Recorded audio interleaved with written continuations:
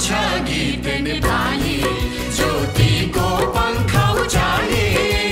गाउँछ गीत नेपाली ज्योतिको पङ्ख उचाले। जय जय जय नेपाल सुन्दर शान्त विशाल। पृथ्वी नारायण शाह पहाडी राज्य गोर्खाका राजा नरभूपाल शाह तथा रानी कौशल्यावतीका छोरा थिए। विक्रम सम्मत सत्र सय उनासी पौष सत्ताइस गते बिहिबार उनको जन्म भएको थियो। साना साना राज्यहरूमा विभाजित नेपाललाई एकीकृत गर्न उनले पहल सुरु गरे। नेपाल प्राचीन कालदेखि एकीकृत हुँदै विभाजित हुँदै गइरहेको थियो। हुन त पृथ्वीनारायण शाह अगाडि पनि उपत्यकाका राजा एकसय मल्ल पाल्पाका राजा मरि मुकुन्द सेन तथा जुम्लाका राजा जितारी मल्लका पालामा एकीकरण भएको थियो। तर एकीकृत नेपाललाई माथि उल्लेखित राजाहरूले लामो समय बचाइ राख्न सकेनन् अथवा भाइ छोराहरूमै आफ्नै जीवन कालका लागि बाँडेर गए। तर पृथ्वीनारायण शाहले एकीकरण सुरु गरेपछि नेपाललाई पुनः विभाजित हुन नदी जोगाइ राख्ने पद्धतिको विकास गराए। टिस्टा नदी पश्चिम र सतलज नदी पूर्वमा करिब बयासीवटा अलग अलग पहाडी भुरे टाकुरे राज्य थिए। भौगोलिक विकटताको अलावा यी पहाडी राज्यको बीचमा धेरै कुरामा समानता थियो। यी सबै राज्यमा हिन्दू राजपूत ठकुरीहरू नै राजा थिए। शासन प्रशासनको पद्धति जनतामाथि लगाइने करको प्रकृति उस्तै थियो।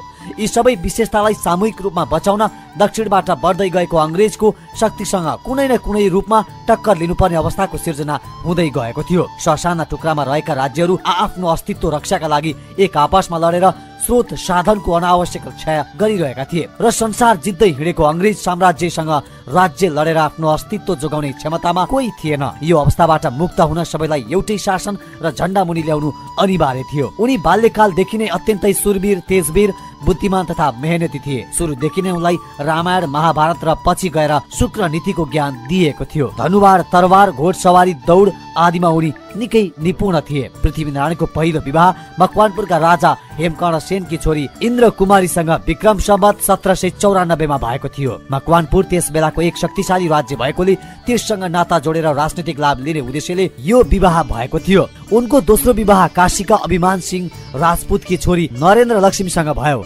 नरेन्द्र लक्ष्मीबाट प्रताप सिंह शाह र बहादुर शाहको जन्म भएको थियो। विक्रम सम्मत सत्र सय उनान्सेमा राजा नरभूपाल शाहको मृत्यु भएपछि पृथ्वीनारायण बिस वर्षको उमेरमा गोर्खाका राजा भए। राजा हुनु अगावै उनले काठमाडौँ उपत्यकाको राजनैतिक रहनसहन आदि राम्रोसँग अध्ययन गरिसकेका थिए। उनले नेपाल एकीकरणको महायात्रा सुरु गरी र कैयौं स्थानलाई नेपाल राष्ट्रमा गाभेर चार वर्ण र छत्तिस जातको फुलबारी बनाए। पृथ्वीनारायणको उद्देश्यलाई युगको मागका रूपमा इतिहासकारहरूले हेरेका छन्। तत्कालीन बाइस र चौबिस राज्यहरू उपत्यकाका विभाजित मल्ल राज्यहरू पूर्वका किरात र लिम्बुवान क्षेत्रहरू सबै एउटा सशक्त राष्ट्रवादी शक्तिको आवश्यकता बढ्दै गएको थियो।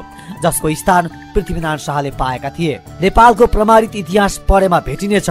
सन् सत्र सय सडसठीमा उपत्यकाका मल्ल राजालाई मद्दत गर्ने बाहनामा सुन्दुलीको झाङझोली दाप्चा पनौती भक्तपुर हुँदै काठमाडौँलाई लक्ष्य बनाई अङ्ग्रेज कप्तान किन लोकको नेतृत्वमा अङ्ग्रेजी फौज सिन्धुली आउँदा आफ्नो युद्ध सामग्रीको अभावको राम्रो जानकारी भएकोले अङ्ग्रेज साम्राज्यसँग मैदानमा कहिल्यै पनि हार खाएनन् उनीहरूले। जति वीर थिए त्यति नै उनी वीरहरूको कदर गर्न जान्दथे। राजकीय व्यवहारमा कूटनीति सरलता र दया उनका विशेषता थिए तर दया र सरलतालाई उनले कमजोरीको रूपमा कसैलाई उपयोग गर्न दिएनन्। नेपालको इतिहासका शीर्षस्थ पुरुष पृथ्वीनारायण शाहले विक्रम सम्मत अठार सय एकतिस माघे सङ्क्रान्तिका दिन बाहन्न वर्षको उमेरमा नुवाकोटको देवीघाटमा देह त्याग गरे डिसी नेपाल डट कमका लागि अनिल ढकाल भरतपुर चितवन। अखण्ड यो हाम्रो देश खण्ड खण्ड पारी। अखण्ड यो हाम्रो देश खण्ड खण्ड पारी। आपसमै लडाउने हुँदैछ तयारी देशै जान थाल्यो टुक्रा टुक्रा परेर देशै जान थाल्यो। टुक्रा टुक्रा परेर।